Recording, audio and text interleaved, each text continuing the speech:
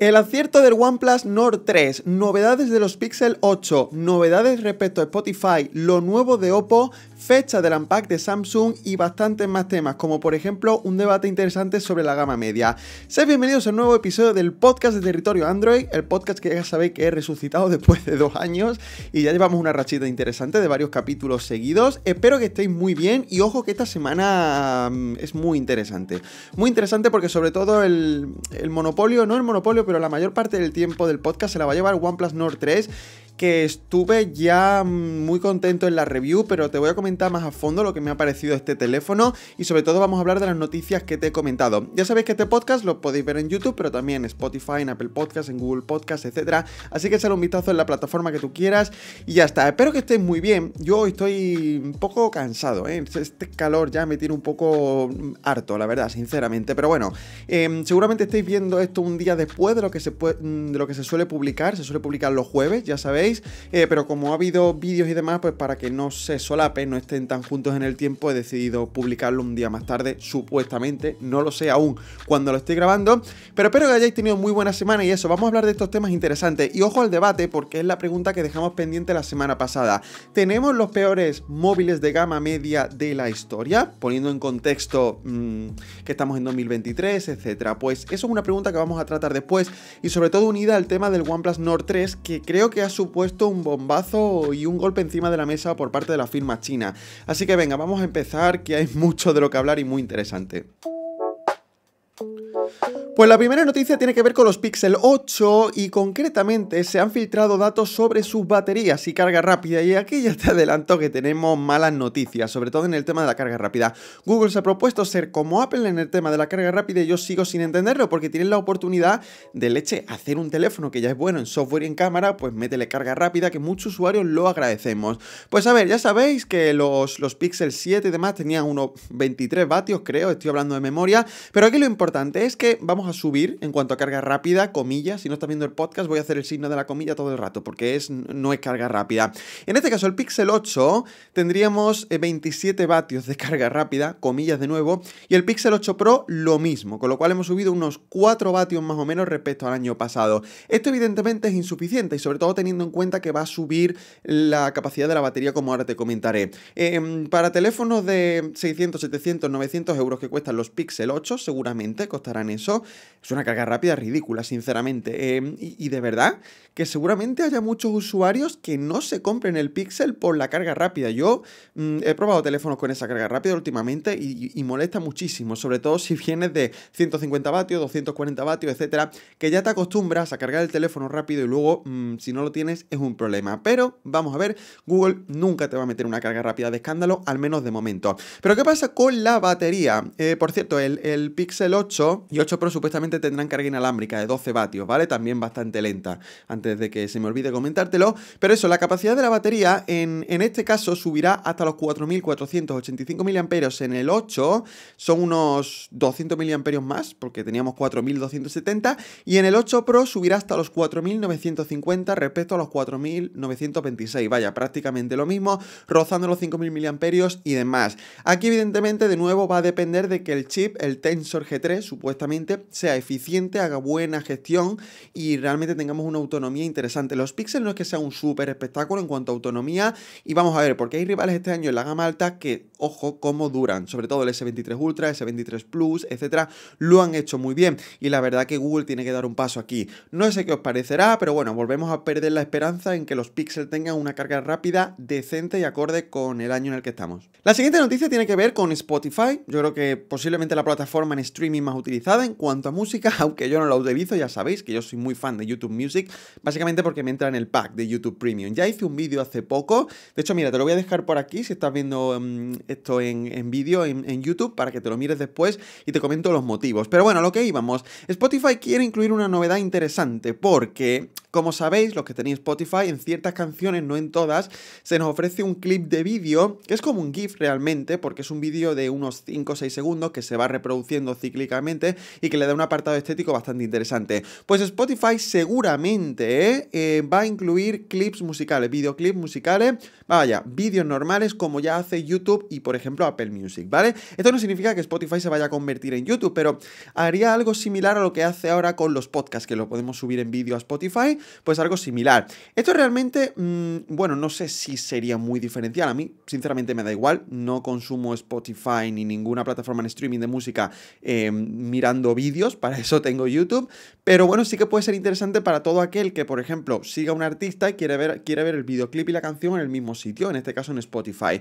Según comenta la gente de Engadget, eh, esto no le daría ingresos extra a Spotify, pero sí que sería un revulsivo, una opción interesante que ya tienen otros competidores y sobre todo mm, le tiraría a la yugular de YouTube, que ya sabe que ahora mismo es el rey en cuanto a vídeo, nadie le puede hacer sombra e irían a por esto. No se ha hablado de cuándo podía llegar, pero seguramente mm, yo le doy bastante veracidad porque, porque es algo que están haciendo otros competidores, como te digo. De hecho, eh, lo que sí que me estoy preguntando es cuándo narices va a llegar Spotify Hi-Fi, la opción de audio en alta fidelidad, porque es que mm, otros competidores como Tidal, Cobuz, eh, Apple Music, etcétera, ya lo tienen. Se habla de que próximamente, pero es que se habla de que va a ser bastante más caro, así que no lo sé. Mm, si llega próximamente os lo comentaré, evidentemente. Y bueno, turno de hablar de Oppo, ojito, porque tenemos novedades del fabricante chino. Ya hacía un tiempecito que no presentaban cosas.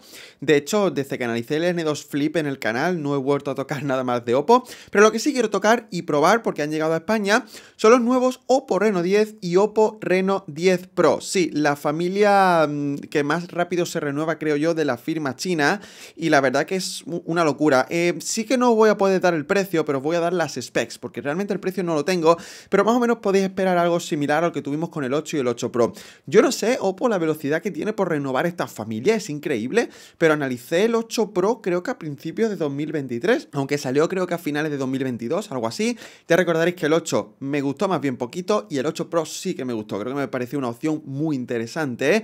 Pero el 10 y el 10 Pro, pues no esperéis una revolución. Lo que sí volvemos a tener, como estaréis viendo, es un diseño muy, muy guay, muy bonito. Yo, Oppo, creo que es la firma que más ideas tiene y más creatividad en cuanto a diseños. Y lo peor de todo es que le sale siempre bien. O sea, se arriesgan, pero le sale muy bien. Son teléfonos, la verdad, que bastante bonitos. ¿Y cuáles son las diferencias? Pues bueno, en cuanto a pantalla, por ejemplo, ambos son prácticamente iguales. 6,7 pulgadas, AMOLED Full HD 120 Hz. Sigue diferencias, por ejemplo, en el procesador. Y ambos usan MediaTek. Para el 10, Dimensity 7050 y para el 10 Pro, el Dimensity 8200. El primero es más de gama media y el segundo más de gama alta, aunque ya sabéis que se queda por, debajo de los 9000, 9000 Plus, etc. Luego, versiones eh, de almacenamiento y demás, pues lo mismo, 256 y sí que el Pro tiene 12 GB de RAM, por contra tiene 8 el modelo 10. En los apartados de la batería es curioso porque en el caso del 10 tenemos 5000 mAh y en el 10 Pro 4600, lo cual nos hace indicar que el 10 Pro apuesta por un diseño más finito, más estilizado. ¿Tiene más carga rápida? El 10 Pro, porque son 80 vatios y 67 el 10 normal. Hubiese tenido más sentido que lo hicieran al contrario, porque al ser una batería más grande, si tiene menos carga rápida, se carga más lento. Pero bueno, decisiones. Creo que es una cifra, eh, la verdad que bastante aceptable. Y después, en cuanto a cámara, tenemos eh, dos cámaras en la parte trasera. Eh, bueno, no, perdón, tres cámaras. Y ojito, porque ambos, según leo aquí, espero que no esté mal la información, tenemos principal, gran angular y teleobjetivo.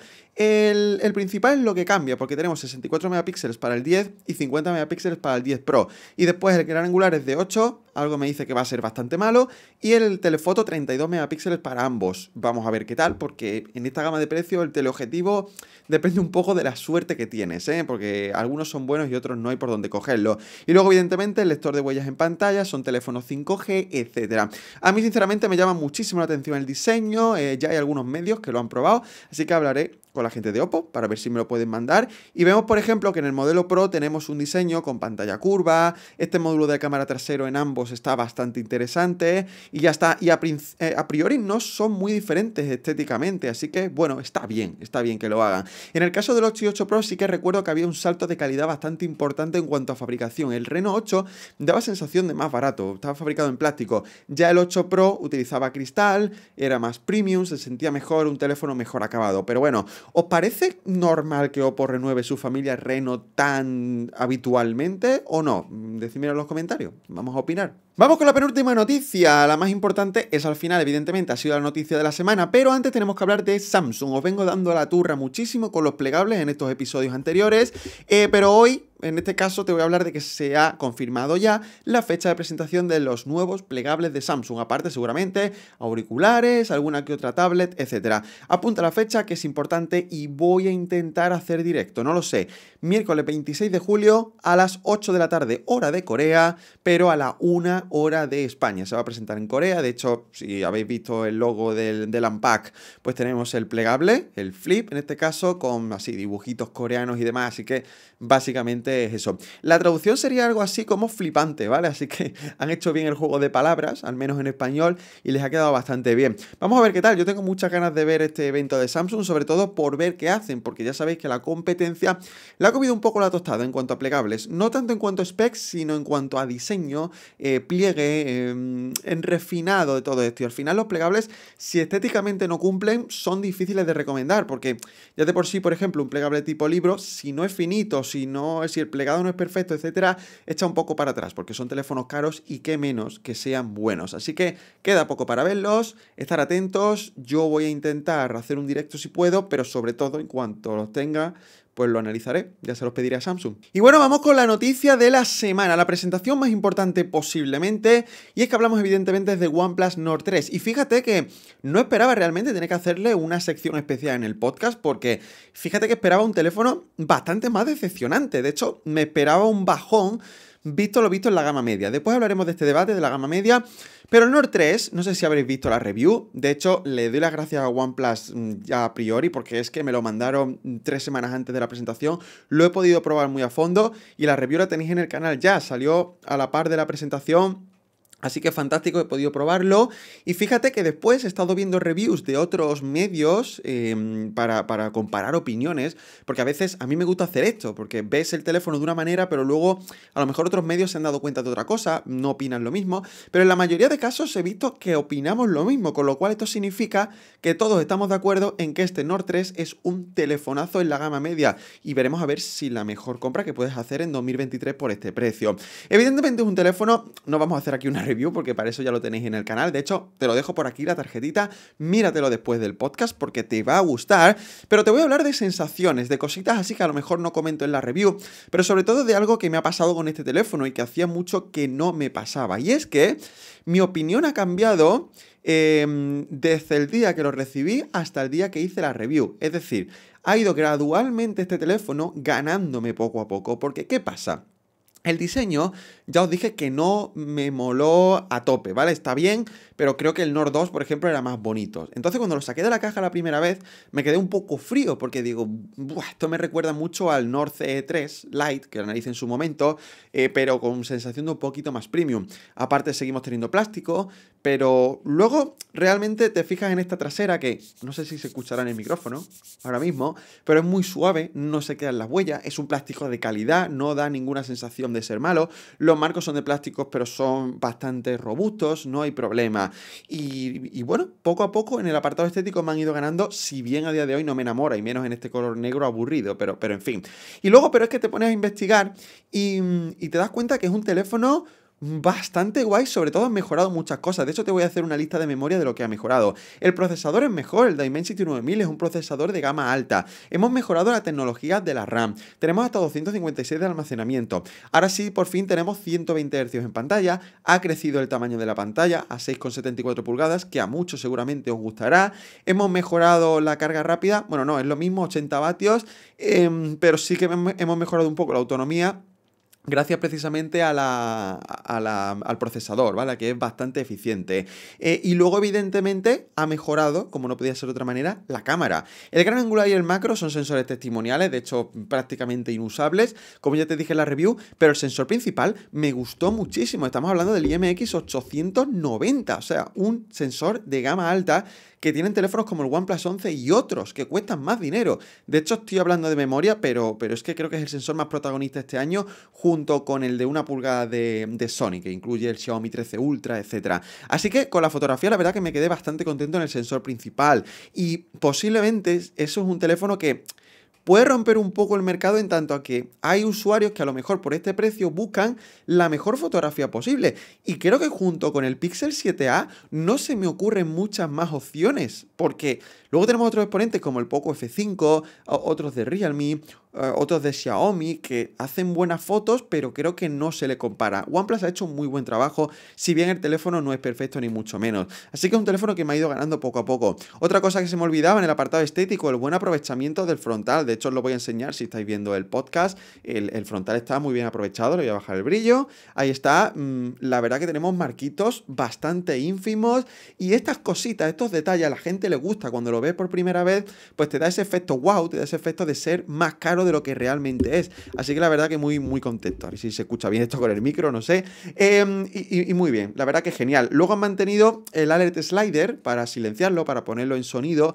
Y esos pequeños detalles, la verdad que yo lo valoro muchísimo. Así que es uno de estos teléfonos que te cierra la boca. Cuando lo saques de la caja, te dicen algo, te dejan frío, pero después lo pruebas durante bastantes días y te das cuenta que a día de hoy, para mí, yo creo que es la mejor opción en la gama media, sinceramente, con permiso del, del, Pixel 7a, que evidentemente este Nord 3 es mucho más tecnológico que el Pixel 7a, pero claro, el Pixel tiene la cámara, el software, son puntos a favor. Y a raíz de esto, relacionado con el software, vuelvo a hacer la misma reflexión que la review. Oxygen es, no es lo que era, evidentemente, pero señores, está muy bien. Y además, es que es una capa que funciona deliciosamente bien. Está muy bien optimizada. Em, tenemos muchas opciones de personalización. Que sí, que se parece a Oppo, pero ya está, hay que asumirlo, no pasa nada. Es un cambio y si te gusta OnePlus vas a seguir teniendo la misma fluidez. Tener este funcionamiento por 449 euros, que es lo que cuesta, realmente no es tan común. De hecho, me quejé en la review del Poco F5 de que venía con mucho bloatware y los teléfonos de Realme también. Así que que este teléfono no traiga bloatware es que no, no trae ni un solo juego, no trae ni una sola aplicación que digas tú me sobra. Luego trae las propias de OnePlus, como el navegador, como el modo relax, como los archivos, pero es que no molestan. De, de hecho, las usas y son aplicaciones que están muy bien. No sé, OnePlus de verdad que se ha marcado un golazo con este Nord 3 y ha demostrado que en 2023 se pueden hacer buenos teléfonos de gama media. Y fíjate, ha rechazado eh, o ha renunciado, mejor dicho, a ciertas cosas que a lo mejor uno está dispuesto a sacrificar por tener esto. Han renunciado a un buen gran angular, han renunciado a un buen sensor macro, han renunciado a un apartado del audio que no me convenció del todo, pero es que el resto no hay por dónde meterle mano. Es un teléfono potente, equilibrado, que rinde bien, que hace muy buenas fotos, que tiene buena batería, que tiene un diseño que cumple. Mm, de verdad, me frustraba un poco en la review no poder encontrarle más puntos negativos porque es muy, muy bien. Eh, esto pasa a veces, yo creo, cuando ya te esperas lo peor, ¿no? Cuando tienes expectativas bajas y dices, oye, el Nord 2 y el 2T fueron excelentes, pero visto el rumbo de la gama media en 2023, lo mismo este Nord 3 se contagia y nos lo ponen más caro y es peor. Pues no. Para mí hoy en día, la compra del año en la gama media es el Nord 3 de OnePlus. Sinceramente, yo no sé qué opinarás tú, pero eso es así. Lo que pasa es que con la gama media hay un problema, y eso es de lo que vamos a hablar ahora mismo. Y es que yo os lo he dicho antes y lo dije en el episodio anterior, tenemos pendiente un debate que yo voy a exponer aquí, vosotros en comentarios me decís qué opináis. La pregunta es, ¿tenemos los peores móviles de gama media en muchos años o en la historia? Contextualizando el año, no me digáis, claro, es que en 2016 los teléfonos eran peores, sí, ya lo sé, pero contextualizando que suponemos que cada año son mejores los teléfonos. Pues a ver, esta es una pregunta complicada que para mí no tiene una respuesta sí o no rotunda, pero sí una respuesta bastante clara y yo sabéis ya por dónde voy. Para mí, este año la gama media en general es decepcionante, en general, la mayoría de fabricantes. No porque los teléfonos sean infumables, sino porque hemos tenido bastantes pasos atrás. Y la prueba está en todas las reviews de gama media que he hecho este año y las que me quedan por hacer. Eh, ninguno me ha despertado mm, este gusto por decir, oye, qué buen teléfono por este precio, por 200, por 300, por 400 euros, ¿vale? Ya cada uno que ponga el límite hasta donde llega la gama media. Salvo el Nord 3, que os lo he comentado antes, y me llega un mensaje ahora, es que no, no falla, estoy grabando el podcast y me envían mensajes. Salvo el Nord 3, eh, el resto mm, me ha dejado un poco frío. Quiero probar el Poco F5 Pro, pero es que yo ya eso no lo considero gama media. Estamos ya casi en la gama alta prácticamente. Pero en general, para mí, yo creo que la respuesta a esta pregunta es que sí. Es que sí.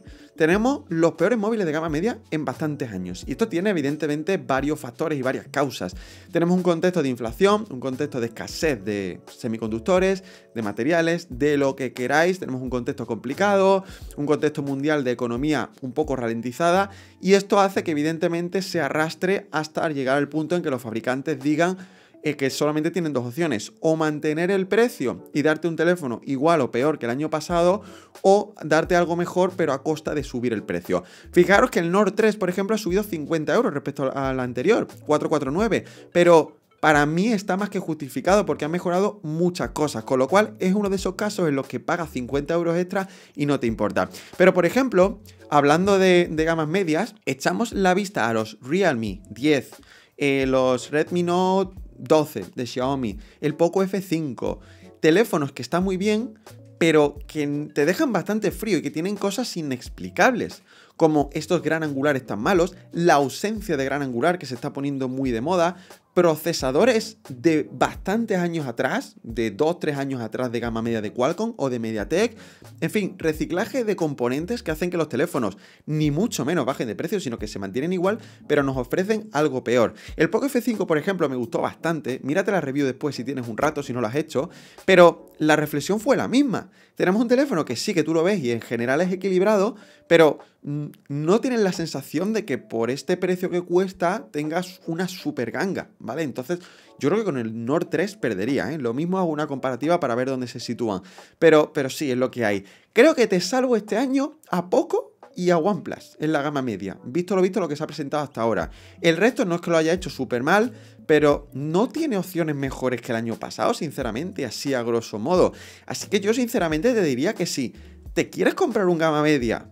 Bueno, vamos, vamos a establecer un presupuesto entre 200 y 400 euros, que es un poco lo estándar de la gama media.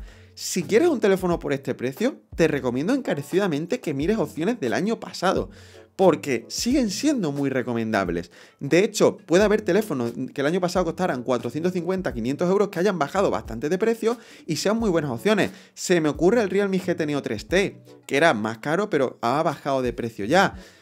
Incluso el Realme GT Master Edition, que está a precio de ganga eh, hoy en día. Algún Xiaomi Redmi de años anteriores. Así que para que veáis que este año mm, la gama media no es no está tan fácil y no es tan sencillo decir, oye, pues como este teléfono es más nuevo, es más recomendable la compra porque no necesariamente. Así que echarle un vistazo de verdad y, como siempre os digo, pues dejar preguntas si las tenéis sobre qué me compro porque puede ser bastante interesante. Puede ser sinceramente, mm, hostia, es que no es una pregunta tan sencilla de responder, ¿vale?